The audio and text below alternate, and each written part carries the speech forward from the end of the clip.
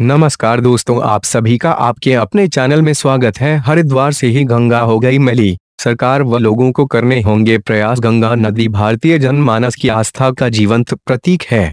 भारत में गंगा को माँ की उपाधि से नवाजा गया है।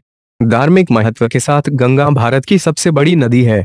यह नदी भारत के 11 राज्यों में भारत की आबादी के 40 प्रतिशत लोगों को पानी उपलब्ध कराती है। दूसरे शब्दों में गंगा भारत की जीवन रेखा है। गंगोत्री से अवतरित पावन गंगा आज दिन प्रतिदिन मैली होती जा रही है। आज यहाँ दुनिया की छठी सबसे प्रदूषित नदी मानी जाती है।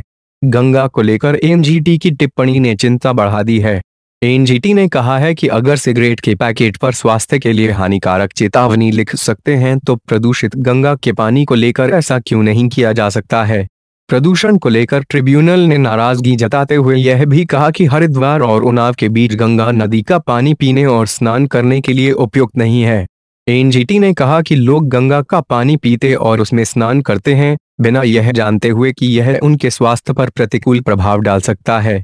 हरिद्वार में भी गंगा हुई मैली चूँकि गंगा गंगोत्री से ही निकलती है, इसलिए माना जाता है कि हरिद्वार में गंगा शुद्ध होंगी, लेकिन अब ऐसा नहीं है। गंगा जल हरिद्वार में भी काफ़ी दूषित हो चुका है। हरिद्वार में गंगा की हालत इतनी बुरी है कि तमाम नाले सीधे गंगा में जा रहे हैं। राज्य में त्रिवेंद्र सरकार आने के बाद गंगा को तवज्जो देते हुए करी गंगा भक्त परिषद का गठन करें जो गंगा जी और केवल गंगा जी के हित में काम करने की शपथ लें।